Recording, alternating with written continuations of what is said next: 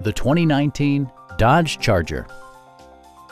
With fewer than a thousand miles on the odometer, this four-door sedan prioritizes comfort, safety, and convenience. Under the hood, you'll find an eight-cylinder engine with more than 400 horsepower. And for added security, Dynamic Stability Control supplements the drivetrain.